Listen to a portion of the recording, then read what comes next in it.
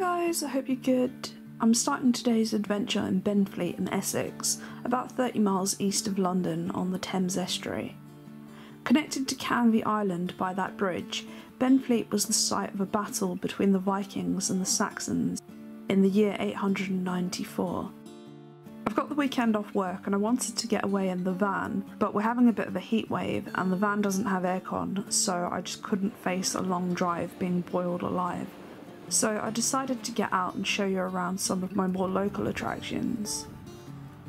As I walk through the moorings, I get the urge, as I always do, to buy a yacht, but then I see this narrowboat and imagine how much fun the cruise down here must have been.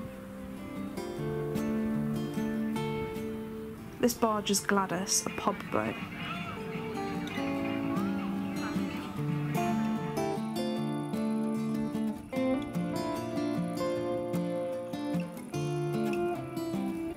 Once you get to the end of the moorings, there's a gate hidden away with a clue as to where I'm taking you, but we need to watch out for adders in the field. I've never seen one before, but hopefully today will be my lucky day. There in the distance is where we're headed, Hadleigh Castle, but I'm taking you there the long way round.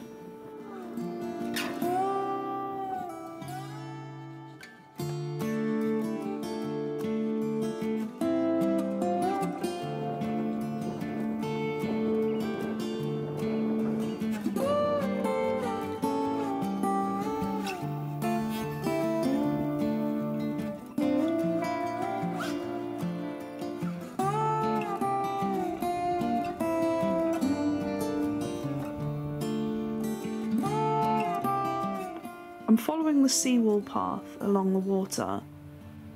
I want to convince Joe and Michael to bring narrowboat Perseverance out here, but looking at the wake from that boat, I think Joe might need a lot of convincing.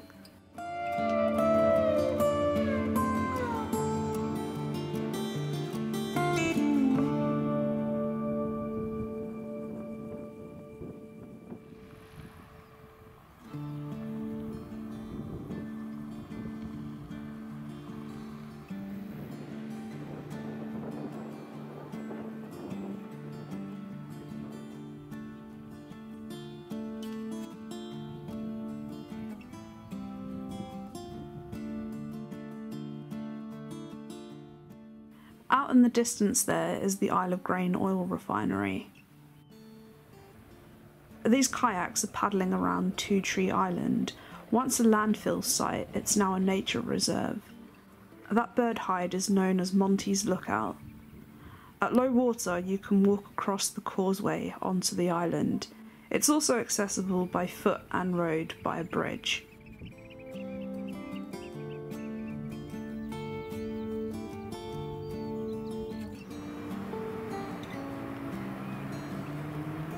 There's the bridge onto the island, but I'm continuing into Leigh-on-Sea, which I've featured before in my videos.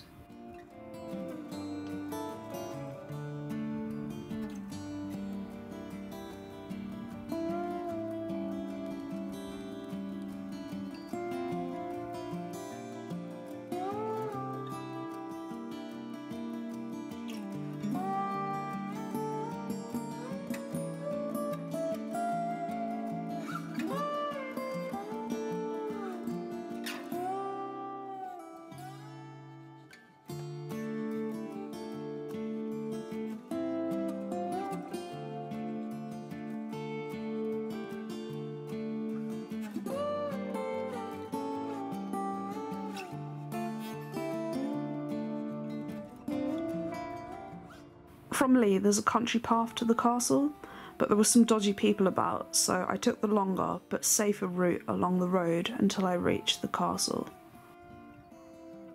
Hadleigh Castle was first built in the 13th century by Hubert de Burgh, the first Earl of Kent. In the 14th century, it was expanded by Edward III and was an important residence due to its proximity to London. In 1544, the castle was sold and broken up so that the stone could also be sold. Today, the ruins of the castle are owned by English Heritage, and it's a Grade 1 listed building and scheduled monument.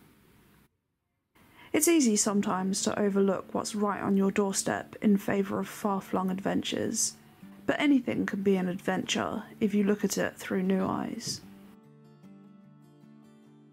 As the sun began to set, I made my way back to Leigh-on-Sea, which is a one and a half mile walk from the castle. If you walk back to Benfleet, it's just under two and a half miles.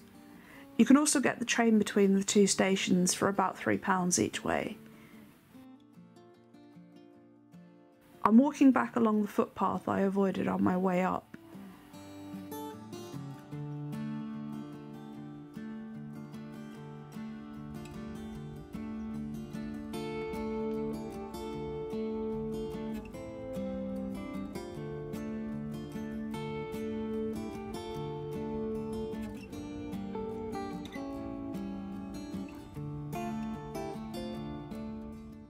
Everything is really well signposted in this area, which is great.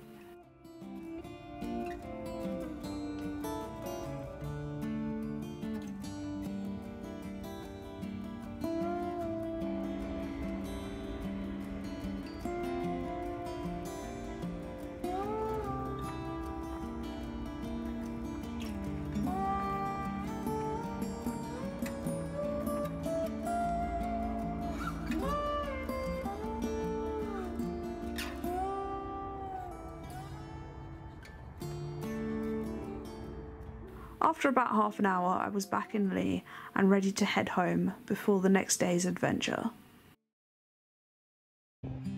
That saw me just down the road in Southend, a pretty typical seaside town with fun fair and amusement arcades.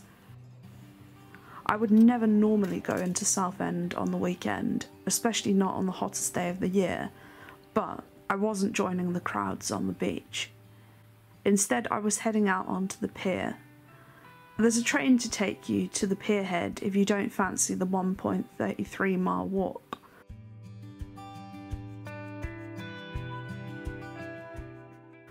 Southend Pier is the longest pleasure pier in the world.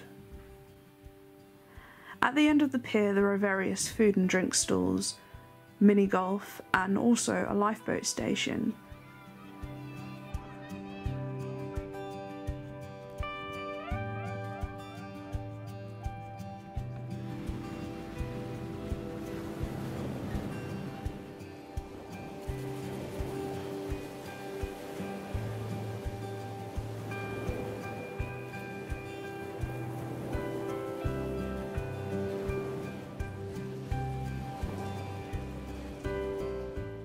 But this boat is the reason I'm here today. I'm taking a one hour cruise around the bay. The reason Southend Pier is so long is that in the 19th century, Thames steamers used to bring tourists from the capital to the seaside, but these boats could only dock at high tide.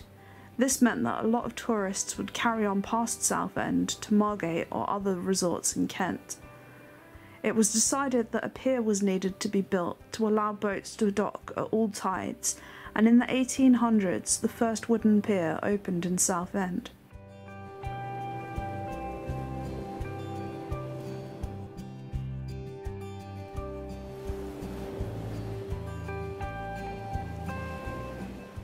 You can see the Isle of Grain oil refinery again there.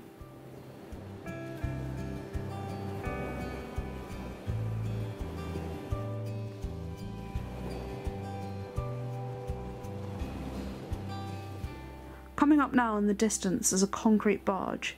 Yes, a barge made from concrete. They were made during the Second World War to transport fuel to other boats. During low tide, people come out to explore the barge. There are actually 16 of them in the Thames at Rainham, which I'll show you in a later video. The whole of this area falls under the Port of London, about a decade ago, a major dredging operation was undertaken to allow larger vessels into the port. Here you can see the Isle of Sheppey, which was the first place I ever went camping in my van. And this sunken ship is the Richard Montgomery, a US Second World War vessel that sank in August 1944 while carrying 1,400 tons of explosives. It's been reported that if the wreck exploded, it would break every window in Sheerness.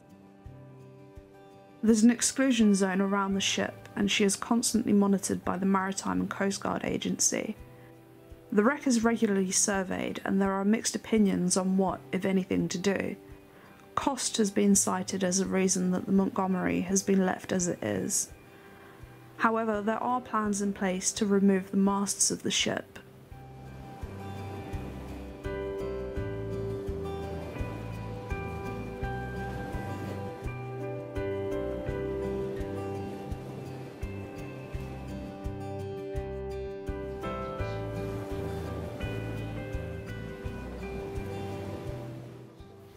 long, my trip was coming to an end. The boat company run loads of different trips around the estuary. I definitely use them again. I'll leave a link for their website in the description. By the time I was back at the pier, I was ready for some chips and a slush puppy before catching the train back to shore. If you'd like to see more of what Essex has to offer, let me know in the comments and I'll take you along for some other days out. But for now, thanks for watching and I'll see you all again soon.